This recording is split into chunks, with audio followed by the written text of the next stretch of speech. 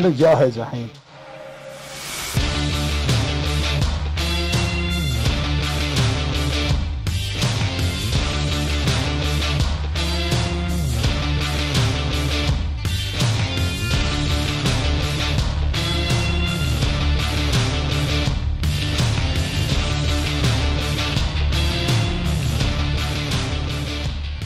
إثارة ومنافسات بطولة البحرين الوطنية لسباقات السرعة للدراج ريس. تنطلق هذا الأسبوع مع الجولة الثانية للبطولة على مضمار حلبة البحرين الدولية موطن رياضة السيارات في الشرق الأوسط.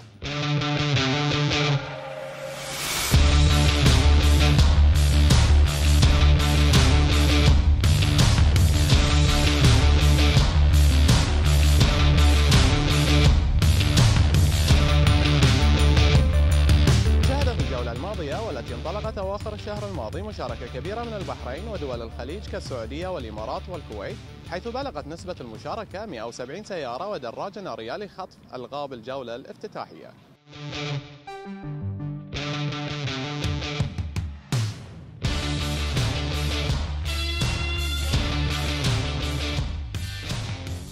اختتمت يوم الجمعة الماضي على مضمار السرعة بحلبة البحرين الدولية. الجولة الأولى والافتتاحية لبطولة البحرين الوطنية لسباقات السرعة والتي لم تخلو من الإثارة والتحدي.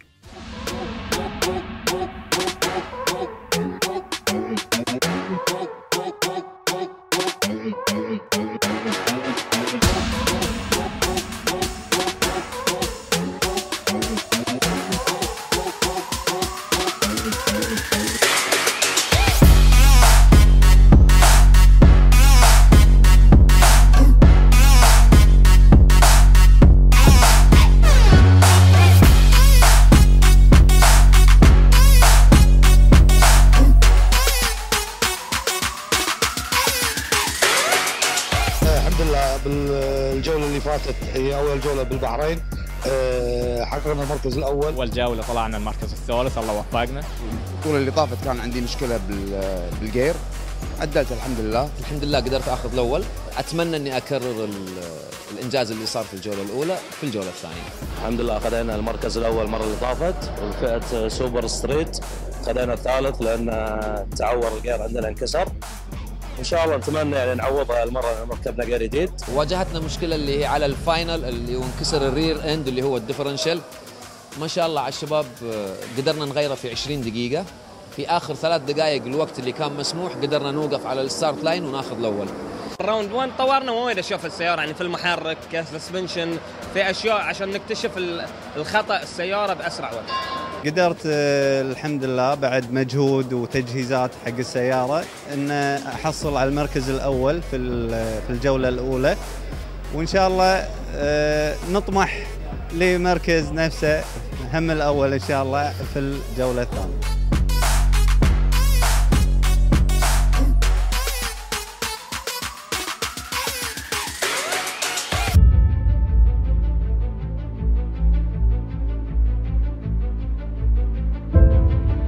تختلف السيارات في مضمار السرعة في الأشكال والألوان والتصاميم. وسألنا المتسابقين عن كيفية تصميم السيارة واختيار الألوان. بصراحة كنت رايح لاس فيغاس وبديت أجمع الفكرة هذه من هناك ورديت الكويت وكانت صراحة الفكرة مشتتة شوي يعني ما كنت عارف شلون أجمع الرسمة كلها. بس رحت شركة وقعدت وياهم وكذي لما جمعنا ال- ال- الرسمة صارت design حلو وشكل حلو. فحطيته بس أنا كان عندي لمسات شوي إن أنا يعني حطيت الأماكن اللي أنا أبيها بالرسمة وين؟ عشان يسوون ال- ال- الرسمة كلها. تصميم السيارة يعني بال- بالسيارة القديمة كان عندنا Ford street كان عليه نفس العملية رسمة الجيكر هي ال airbrush طورناها إحنا سوينا سوينا الباتمان مو باتمان السيارة هذه هي الوحيدة يمكن ال- ال airbrush مالها موجود بالخليج كله. أنا أحب التميز يعني تكون سيارة غير على الباقي تم التصميم هذا بناء على كمجمل الفريق. والحمد لله آه، طلع التصميم موفق وصممناه. نطلع نحاول نطلع بأقدر شكل حلو يعني. فان شاء الله يعجب الكل. إحنا شاركنا تقريبا العام وصادنا backfire واضطر ال backfire إنه يوصل لل... لل body من برا يعني شوه مظهر السيارة. طبعا السيارة دي لونها أصفر. وشوه مظهرها من برا. تبرع لنا واحد من الشباب إنه يسوي لوك جديد على السيارة. وسوى اللوك هذا. عاد أنا ما أدري يعجبكم ما يعجبكم. طبعا أذواق. اللون أنا أعشق اللون الأصفر. الأسباب كثيرة. في السيارات ودائما أقول يقولون لي الشباب أنت لون سيارتك أصفر. ليش الأصفر؟ الأصفر يميز شخصيتك. يميز أنت من بعيد. يعني سواء من الجمهور. أنت عندك محبين. وعندك الهيترز اللي ما يشجعونك يشجعون سيارة ثانية في نفس الفئة اللي أنت فيها. ما يكرهونك كشخص لكن أنت تتميز. معروفه السيارة هذه انجازها معروف. لكن لما تكون الألوان الدارجة أبيض أحمر يبقى غموض على السيارة من بعيد الجمهور ما يقدر يميز. في عندك فئة كبيرة أطفال هم الأطفال من عشر سنوات إلى 15 سنة يعشقون السيارات يجون مع أولياء أمورهم مع كل واحد مع أبوه جاي بيشوف خلاص يصير يعرفك. من بعيد هذا فلان الفلاني هذا الفريق الفلاني هذه السيارة الفلانية. السباق اللي فات كان عندهم المشكلة الفلانية تسابقوا مع فلان. فالأصفر أول شيء مميز. ثاني شيء نظرته حلوة بالتصوير على الستارت ثالث شيء كل ال detail يبين وقت نظافة السيارة. تشوف السيارة نظيفة فأعشق الأصفر في كل شيء أحب اللون الأصفر. طبعا لون لون الأحمر طبعا لون بلودي يعني البحرين. طبعا نحط علم البحرين وكل شيء. وافتخر إنه أنا من البحرين.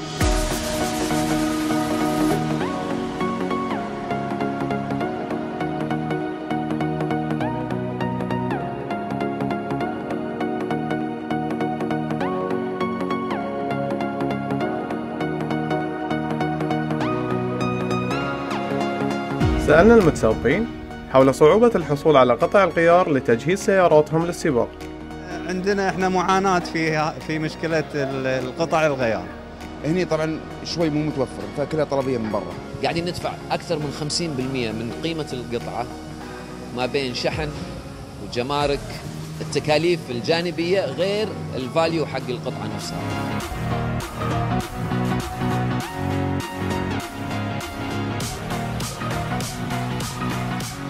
كل قطعها ما في شيء موجود بالخليج متواجد إلا من ال USA من أمريكا تطلب له طلبية أو shopping ما حد قاعد نشتري منه لكن إحنا قاعد نتعامل مع شركات هناك ويذهبون السياره لنا بالكامل.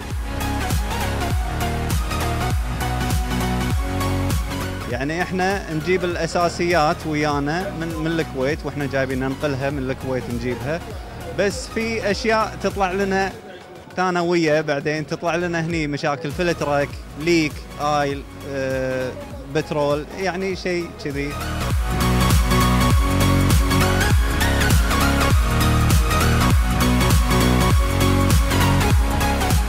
نطمح في السنين الجاية إنه يكون لو لا قدر الله الواحد صار عنده خلل محرك جير إنك تلقاه اون شيلف بيج فاليو بس اللي بيستثمر في الشيء هذا أنا مستعد إني أدفع من قيمة القطعة الأصلية في أمريكا. فرضا إذا كانت 1000 دولار أنا مستعد أدفع 1200 1300 بس إنه on shelf لأن أنا أحتاجها في الوقت هذا. إذا ما عندك spare ات خلاص رد ديرتك ما في أمل. إلا عاد إذا كان تحصل أحد هني يبيعك أو شيء تلقى لك قطع تسوي. فأكيد شيء متعب وشيء مزعج. لكن هوايتنا مضطرين نحبها. وراح نستمر فيها.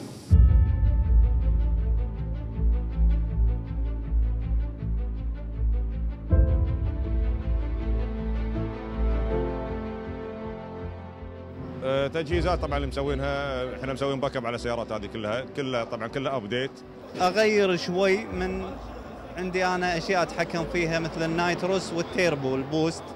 فالحين راح نحط ال gear الثاني ال gear الجديد فراح يكون سيارة refresh من أول جديد تكون جاهزة حق إن شاء الله وتكون يجيب رقم أقل من الرقم اللي قبله إن شاء الله. طبعا تجهيز الدراجه كل من يشوف أنه تجهيز بسيط لا هي تجهيز وجدا مكلف تجهيز متعب.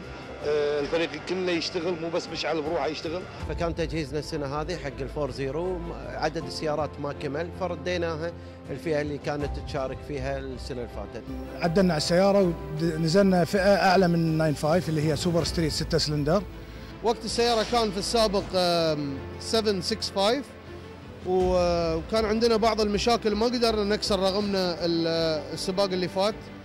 وطلعنا من أول جولة بسبة إن السيارة تقص في القومة ما ما يجيها بترول.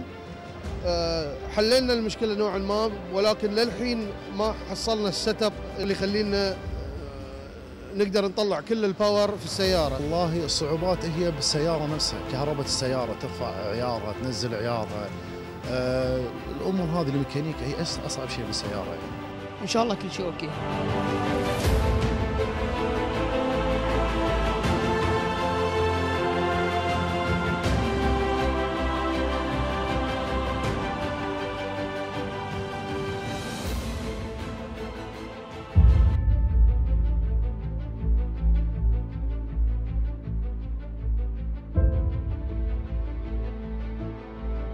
وبعد ما شفنا استعدادات المتسابقين للسباق ننتقل معاكم إلى التجارب التأهيلية لسباق الجولة الثانية من البطولة الوطنية لسباقات السرعة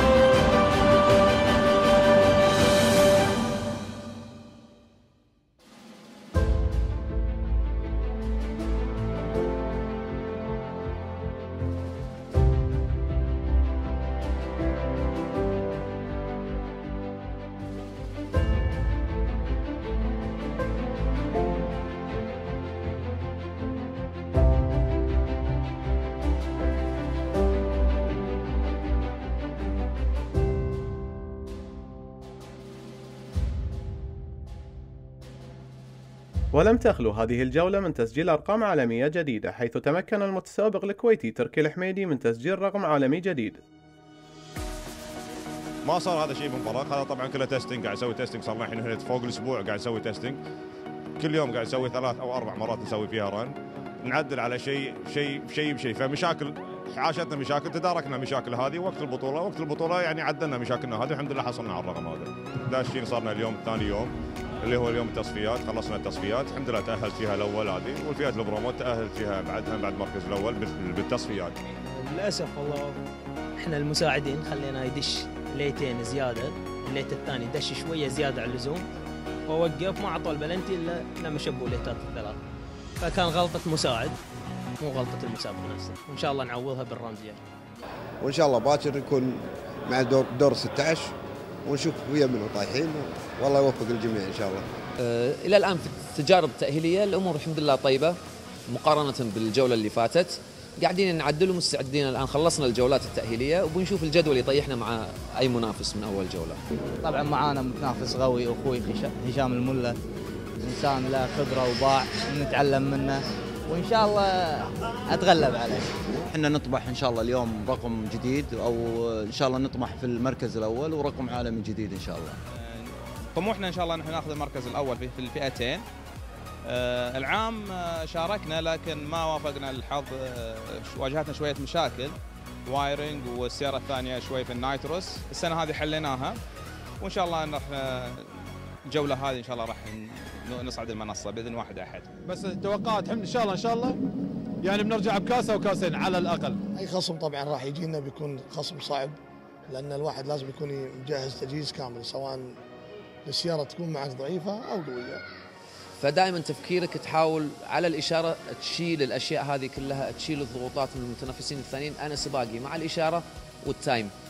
ما في أي شيء خارجي يقدر يأثر علي. أصفي ذهني 100% مرات تكون عندك ضغوطات يبين على أداء السائق في ال- في ال reaction خصوصا في ال reaction. والله ما ما نستصغر ولا ولا متسابق. كل المتسابقين تقريبا عندهم ما شاء الله power وعندهم كل شيء وكلهم منافسين. فإن شاء الله الله يعني يقدرنا والله يقدم اللي فيه الخير. السيلفيا السوداء من بابكو ما شاء الله عليها سيارة وايد قوية والخضراء هذه بعد. مو متخوف كثر هالثنتين هذولي وإن شاء الله تدري ال race وبالبداية هو هو على ال 60 foot وعلى ال reaction. إذا أنا reaction ي okay و60 foot okay إن شاء الله بكون قدام في النهاية إن شاء الله. بس الحين إن شاء الله race والله يعني يوفقنا ويوفق المتسابقين كلهم. فإن شاء الله ربي يوفقنا بإذن الله إن شاء الله. من التوفيق.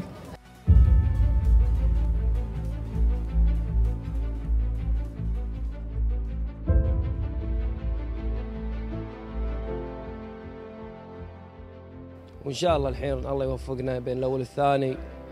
وإن شاء الله لقدام أفضل ووايد راح تصير إن شاء الله بإذن الله. اليوم ال final ال final اليوم خروج المغلوب.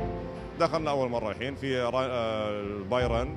رقمها زين. الرقم الثاني السياره الثانية هم نفس الموضوع هم بعد bye run. الحين نتلاقى على موضوع خروج المغلوب. وبإذن الله نتمنى التوفيق من الله. إن شاء الله نتمنى أن تعبنا يتكلل بالفوز.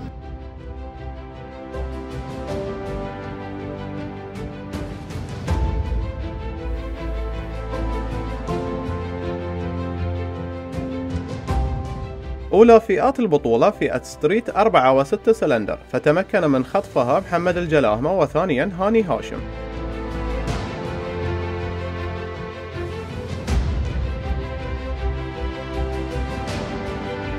فئة ال index 9.5 جاء أولا حسين الشيخ وفي المركز الثاني يوسف عبد الله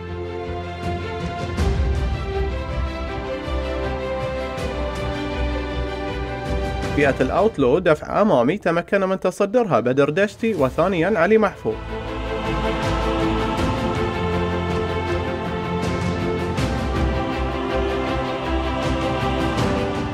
فئة الكومبetition 4.5 تصدرها محمد بوسيلون وثانيا هشام الملا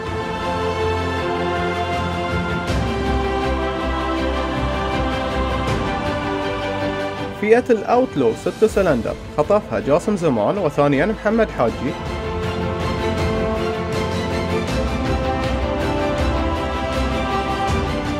فئة ال super street 6 سلندر تمكن من خطفها نواف المناعي وثانيا حمد المرباطي.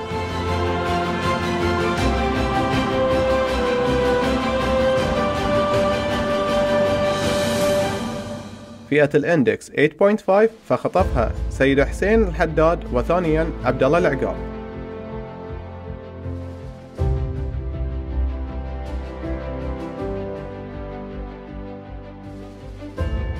فئات الدراجات النارية. جاء أولا بدر بن عيدان وذلك ضمن فئة ال street bike. وبشار التركي ضمن فئة ال super street bike وجهاد الجمال ضمن فئة street fight bikes 9.5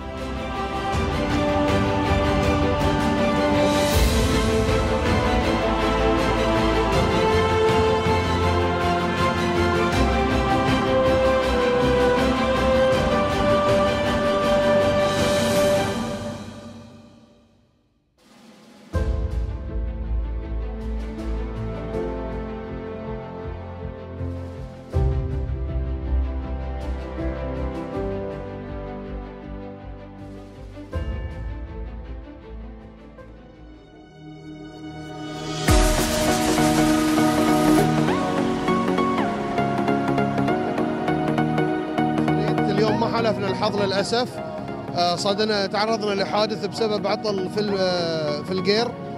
ويعني نطمح إن نصلح السيارة عشان نقدر نشارك فيها في السباق الجاي الجولة الثالثة. ومن الله التوفيق إن شاء الله. بعد ما شفنا أهم منافسات الجولة الثانية خلونا نشوف تتويج أبطال هذه الجولة.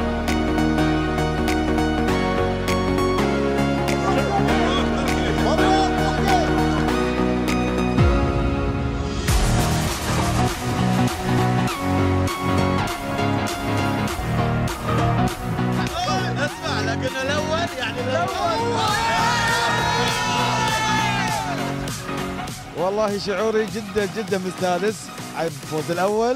الحمد لله. توفيق من الله. اللهم لك الحمد.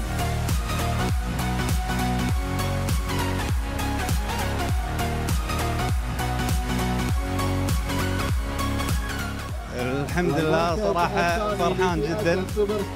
حصلت على المركز الأول. عقب مجهود. ونحمد الله.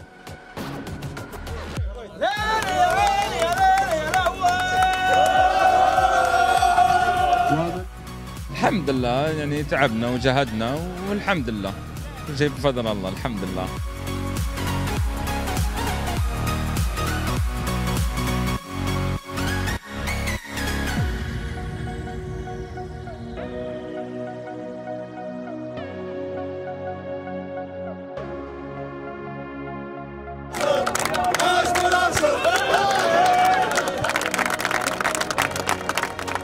البطولة هذه حققنا مركز زين ورقم زين. لا وايد التنظيم كان حلو والفعالية كانت وايد زينة والشباب والناس وهالجمعه ويعطيكم ألف عافية. الحمد لله اصراري على الفوز وعزيمتي للفوز والحمد لله.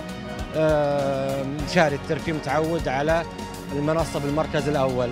والله عانينا شوية مشاكل بس بعدين الحمد لله. وإن شاء الله قاعدين للاسبوع الجاي بإذن الله.